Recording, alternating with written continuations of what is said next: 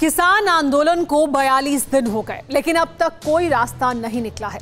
8 जनवरी को सरकार के साथ नौवे राउंड की बैठक होने वाली है, लेकिन उससे पहले सरकार पर दबाव बनाने के लिए किसान ट्रैक्टर रैली निकालने जा रहे हैं। गुरुवार को दिल्ली की दहलीज पर किसान ट्रैक्टर परेड करेंगे। किसानों का कहना है कि ये ट्रैक्टर रैली 26 जनवरी की ट्रैक्टर परेड का ट्रेलर है।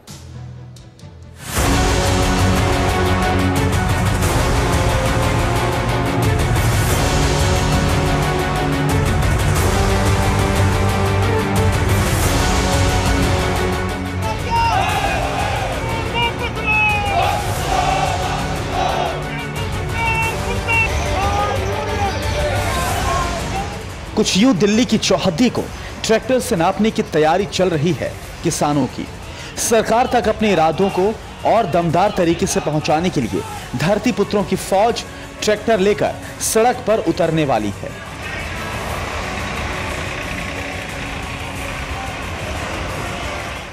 यहाँ से जो आगे जाके वहाँ सोई ढाबा है, उधर सारे इकट्ठे होंगे पीछे तो वहाँ से जो केएमपी के ऊपर टिकरी की ओर जाएँगे।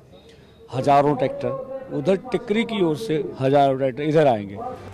सरकार के साथ बातचीत से पहले 7 जनवरी को सड़क पर ट्रैक्टर उतार कर ट्रेलर दिखाने वाले हैं किसान।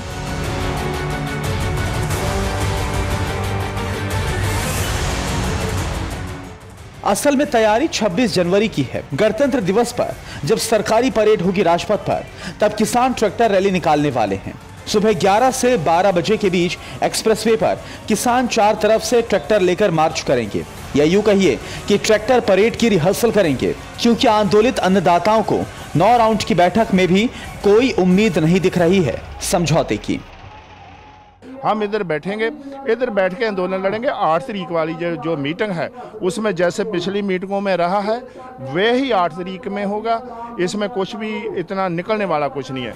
26 जनवरी को ट्रैक्टर परेड में महिलाएँ भी शामिल होने के लिए तैयार हैं। हरियाणा के गाँव में महिलाओं ने ट्रैक्टर दौड़ाना शुरू कर दिया है।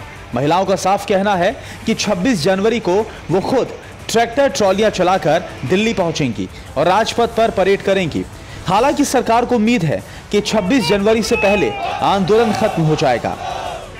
किसान यूनियन जो आंदोलनरत हैं, वो कृषि सुधार बिलों की भावना को समझेंगी। और किसानों के हितों पर ध्यान देंगी और सकारात्मक रूप से चर्चा करके कोई ना कोई समाधान ज़रूर निकालेंगे। इस बीच आंदोलन को और ज़्यादा तेज करने की मुकम्मल तैयारी है। किसानों ने सड़क पर अपने तंबू को ईंट और कंक्रीट से पक्का करना शुरू कर दिया है।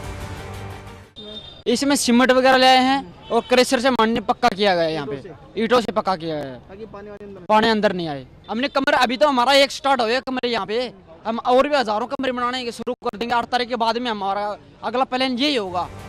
असल में किसानों की अग्नि परीक्षा आसमान भी ले रहा है।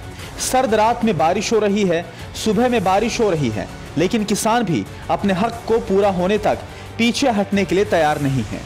Bureau report TV nine Bharatvarsh परवाह देश की। सोमवार से शुक्रवार रात 10 बजे टीवी 9 भारतवर्ष पर।